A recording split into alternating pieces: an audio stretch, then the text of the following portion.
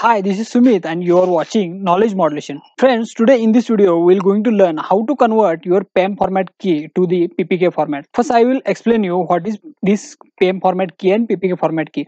When you uh, create new server on the AWS, you have to download one uh, key pair that is in PEM format. Then you have to connect to your server. So for that purpose, we use the putty and uh, to make login safer you use the private key. So this private key is in ppk format. So putty use the ppk format key to connect your server.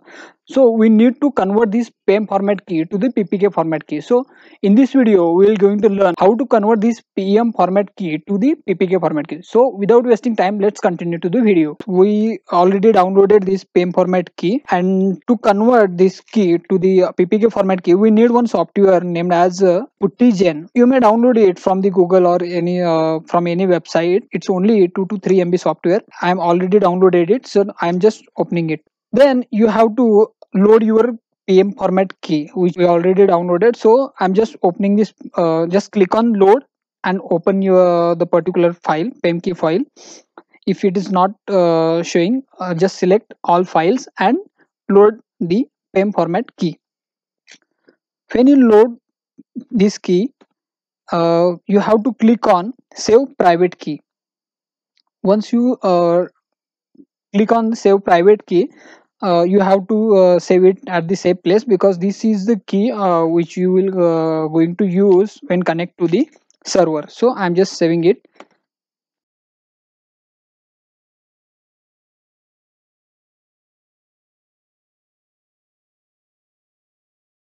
Now uh, just open your putty software and copy your web address for your server and paste to the ip address then go to the authentication.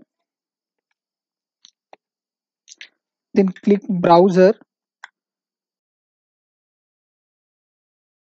Now select the ppk format key and click on open. Then click on yes.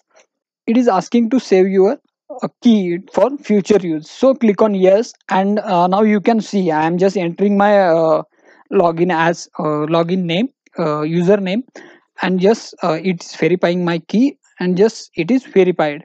So now i am connect to my server. So this is the procedure to convert your uh, pem format key to the ppk format key by using puttygen so friends if you like this video hit like and uh, don't forget to share this video with your friends. Also to watch more videos like this please subscribe to the knowledge modulation. And thanks for watching this video. Keep watching